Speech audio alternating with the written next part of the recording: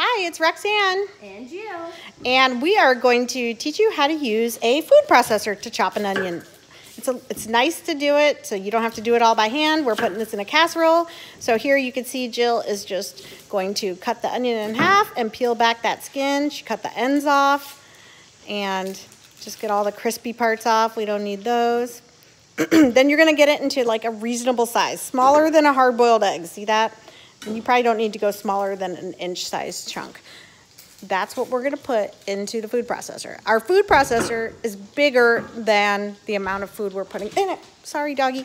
Okay, so, see, it's pretty big. This is probably, I don't know, like a four, like a one quart or, yeah, one quart size. If you don't get your lid, whatever brand you have, if you don't seal it, it probably won't turn on. Just saying. There we go. Use the choppy knife attachment. You could pulse or you could leave it on. Just make sure you don't go overboard and puree it, depending on the size onion chunk you want.